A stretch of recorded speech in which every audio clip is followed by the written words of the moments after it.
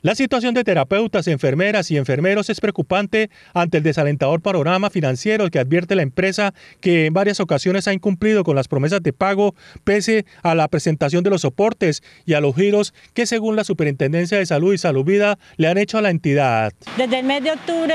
eh, Medical Room Service a nosotros nos está mintiendo de que nos van a pagar, que, que esto y que lo otro, pero aún hasta la fecha de hoy no nos han reportado pagos. Nos dijeron que la, que la última semana del mes de, enero nos hacían los pagos y hoy nos citaron. Probablemente es para decirnos lo que siempre nos han dicho, que no, nos, que no hay plata, que no ha entrado recursos y pues la verdad es que ya somos más de, más de 100 personas esperando unos pagos que los cuales no se han efectuado, no se